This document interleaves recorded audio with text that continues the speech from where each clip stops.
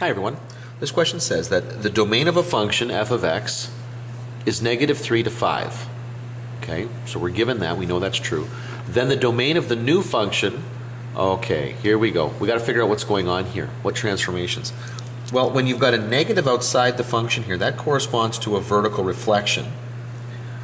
X plus 2, well think about what I would have to do to get x by itself. I would have to subtract 2 from this, this expression here. So subtracting 2 corresponds to left 2. So the horizontal translation 2 to the left. Now, a vertical reflection, okay, this way, isn't going to affect the domain, okay, because a vertical reflection will, will change the y coordinates, not the x coordinates here. But 2 to the left will affect the domain. So 2 to the left. Now I just got to look at my expression here.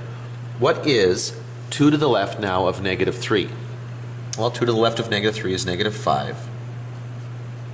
What's 2 to the left of 5? Positive 3. So my answer is the new domain would be negative 5 to 3.